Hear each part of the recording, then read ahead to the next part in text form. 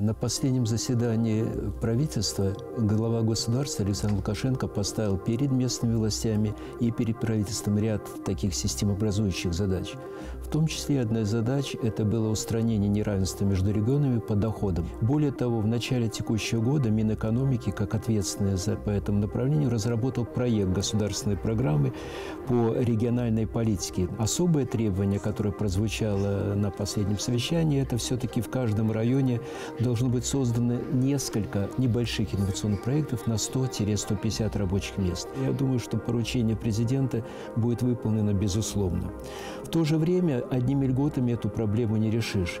Более того, порядка 80% всей территории Республики Беларусь имеют те или иные преференциальные льготы, поэтому, скорее всего, вопрос лишь в выборе инновационных проектов, которые будут строиться на уровне государственно-частных партнерств, потому что нагрузку тоже нельзя перекладывать только на бюджет. Есть альтернативные точки зрения, зачем нам развивать все регионы, и примеры приводятся и Армения, и Греция, где более 50% населения живет именно в столичных агломерациях. Но надо четко понимать, что Беларусь все-таки имеет свой культурный слой, и надо подходить к этой проблеме не только с точки зрения экономики или социальных проектов, а с точки зрения сохранения культурного наследия, да, как у нас говорят, именно наследием так называемой малой родины. И мне кажется, интересно зарубежный опыт, как они, в общем-то, решают эту проблему. У них эта проблема называется депрессивные регионы.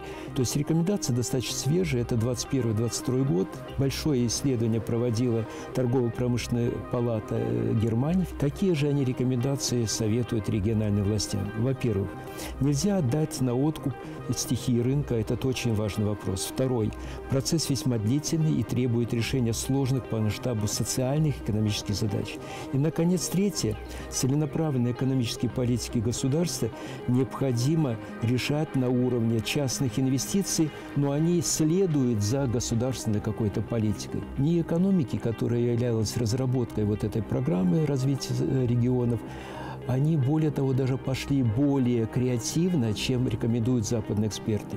В частности, они предложили формат так называемого бюджетного трансфера. Что он означает? Частный инвестор, который готов будет вложить инвестиции в развитие вот этих регионов, через какой-то промежуточный э, период, а этот период разбит на три этапа, государство будет частично возвращать ему таким образом затраты. Фактически это механизм привлечения частного бизнеса, мотивации частного бизнеса решению без всякого сомнения, это государственная проблема. Ну, как говорится, дело осталось за малым. Вот то, что изложено на бумаге, надо реализовать это по жизни.